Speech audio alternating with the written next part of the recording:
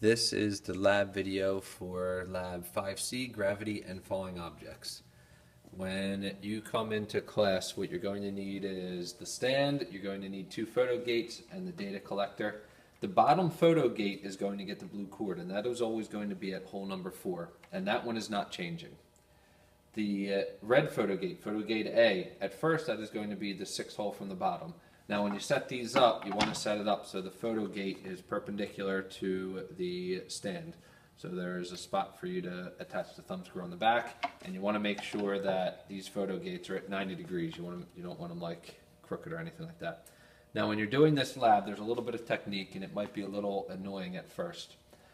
With this first photo gate at hole number six, what you want to do is hold the marble at hole number seven. So you might have to look down and see that it's about lined up and get an idea of where your hand is. Now the beam that the marble has to fall through is towards the end of the photo gate. There's these little slits that are there.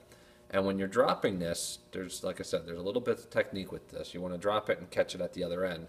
But when you're going to drop it, you don't want to squeeze the marble real tight because when you do that, it'll kind of stick to your hands and it'll fall crooked. Right, it kind of hit that one. What you want to do is hold it really, really lightly and then just release it and it should go right through. Now your numbers probably aren't going to be as consistent as they are as when we use the cars and the tracks, but we will be getting the average. So with a little bit of practice, I think you'll be able to get it pretty good.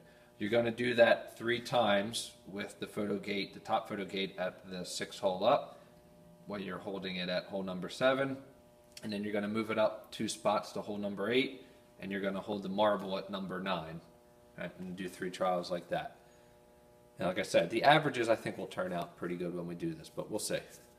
The other thing you want to pay attention to, and it's in the PowerPoint that I have uh, on Classroom, the diameter of this marble is 0.019 meters, and that is what we are going to use as the distance when we do the math, so pay attention to that, 0.019 meters.